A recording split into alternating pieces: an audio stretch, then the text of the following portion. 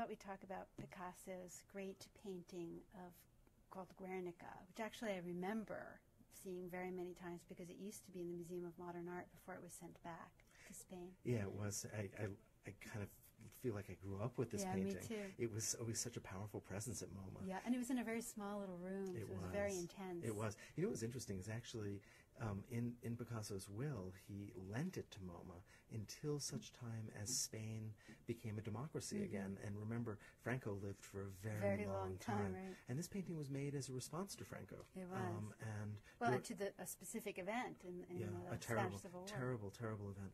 Um, and this is such a loaded and powerful painting, and has had such an impact um, both when it was made and and long afterwards. Yes, which we can talk about too. So maybe we should talk about the historical circumstances Sure. in which it was made. Yeah. Um, it's a it's a gigantic painting, and it was made um, by Picasso in Paris at the request of one of two Spanish governments that existed at that moment. Remember, there was a civil war going on in Spain, and on one side were the, were the fascists, um, led by Franco, who would win the Spanish Civil War.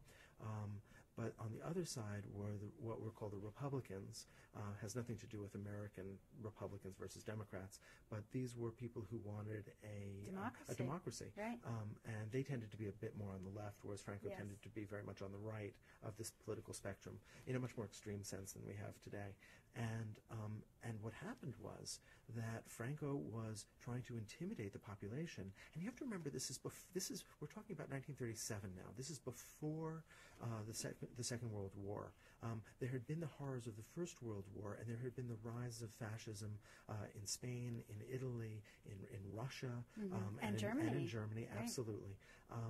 And and what, it- what what what happened was is that Franco decided to unleash um, violence directly on a civilian population in order to really cow that population and to assert his power. Mm-hmm. And to consolidate his power. right? Absolutely. And so what he did is he um, actually was in touch with Hitler in Germany, Mm-hmm. and he allowed Hitler to test out some of his bombers on the on the city of Guernica. Hard to believe, isn't it? It's really incredible, and Picasso was so horrified by this. The world was horrified by this, um, by the by the, the bombings and the, the, the mass civilian casualties that resulted.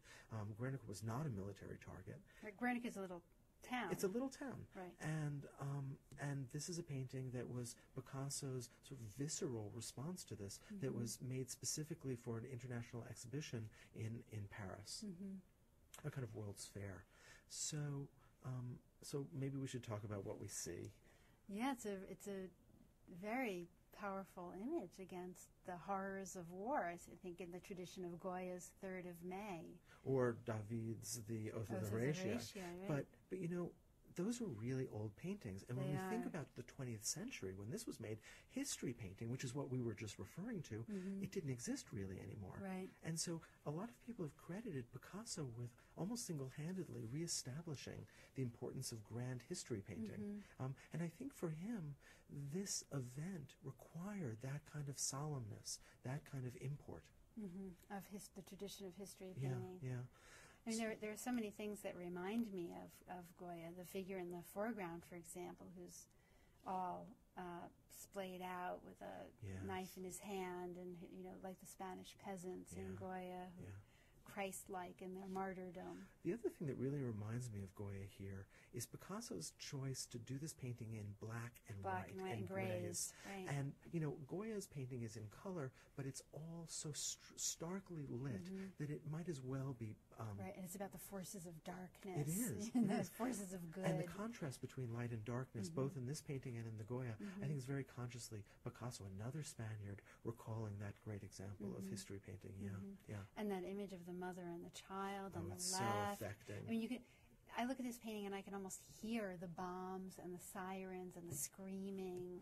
Yeah, it's so palpable. On, on the on the extreme right, you have the woman who's fleeing the burning building, her burning home, um, and of course, it's a painting that's full of symbolism. Um, there's the, the horse, of course, screaming. There's the broken sword, as you had mentioned, and then I think really potent and really curious and interesting is the light source itself, that lamp. that lamp. You know, people have said it looks like a human eye, perhaps the eye of God, but you have an electric light bulb there. Yeah. Um, and also, it could function as an explosion. Yeah, that could be the explosions from above. I think above. that's always sort of how it, it felt to me. Looking at that was like the lights flickering on and off, and explosions and yeah. lights, and the way that lights sort of you know explosions make Oh, they light yes. flicker yes. and and um, it's, it's it has this feeling of the chaos of that moment. It really does. It really does. It also kind of um, vilifies modernity in the sense the possibility of having airplanes drop bombs.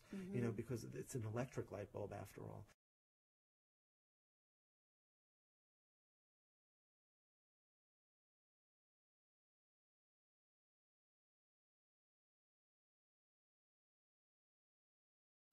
Actually, something else that I find really interesting here is the cross hatching.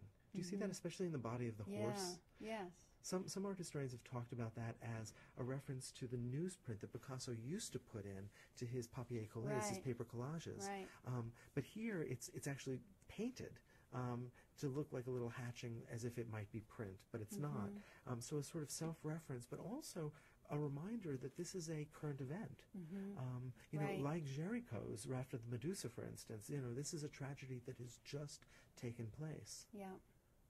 Yeah. It's a pretty extraordinary painting, isn't And we it? know that that when Colin Powell went to the UN oh, to make the case for the war in Iraq by saying the invasion claiming of Iraq. Yeah. that I think he believed at the time that Saddam Hussein had weapons of mass destruction, or the Bush administration believed it, and Colin Powell went to Make that case at the United yeah. Nations.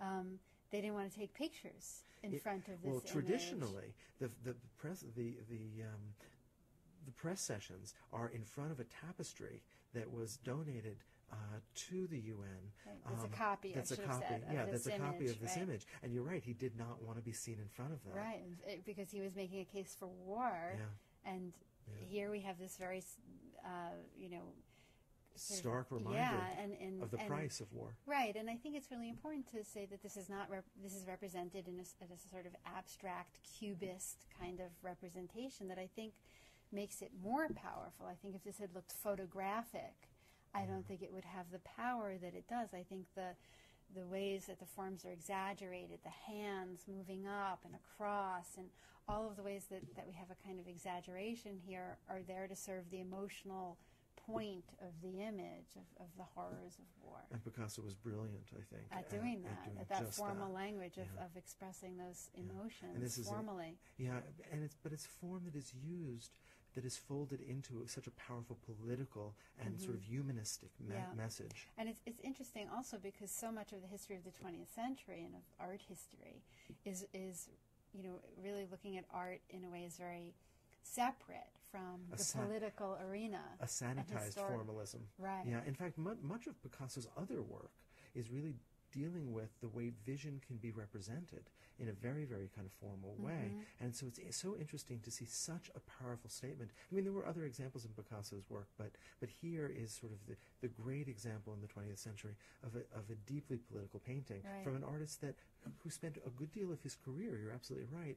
Um, really focusing on the way we see and the way we Mm-hmm. represent what we see. And art historians have written art history very much in that way Yeah, for much of the 20th century. So here is a really successful marriage that does not Right. separate of, out of art that's engaged, yeah, right? in the world David, in the most direct way.